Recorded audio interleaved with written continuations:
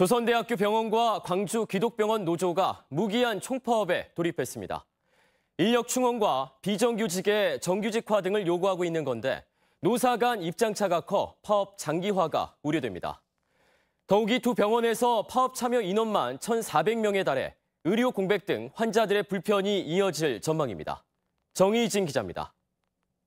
합의사항 이해하라!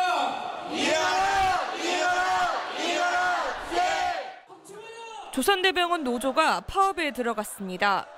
지난 6월부터 병원 측과 10차례 넘게 협상을 이어온 노조는 조정 시한을 넘긴 오늘 새벽 4시까지 줄다리기 협상을 벌였지만 끝내 이견을 좁히지 못했습니다. 병원 노사는 세 가지 쟁점에서 견해 차이를 보이고 있습니다. 노조 측은 의료 서비스의 질 향상을 위해서 비정규직의 정규직화, 적정 인력 확보, 임금 인상을 요구하고 있습니다.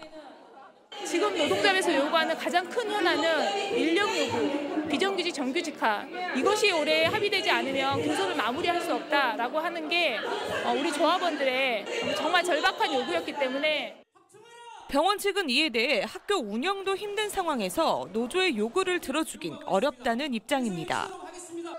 오늘부터 총파업에 들어간 광주 기독병원 노조의 경우 최근 법원의 판단이 내려진 통상임금 소송도 쟁점 중 하나입니다.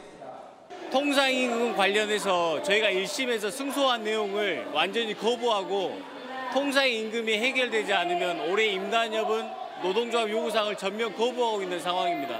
모든 요건이 다 충족될 때까지 끝까지 투쟁할 것입니다. 파업에 참여한 두 병원의 조합원은 1,400여 명. 응급실과 중환자실 등 필수 인력을 제외하곤 대부분 파업에 참여하면서 진료 차질 등 환자들의 불편이 예상됩니다. 물론 환자 입장에서야 당연히 그러죠. 그러나 우리는 객관적으로 그것을 사물을 판단해야지. 지역 대형 병원이 잇따라 무기한 파업에 돌입한 가운데 파업 장기화 조짐까지 보이면서 의료 공백에 대한 우려가 커지고 있습니다. KBC 정의진입니다.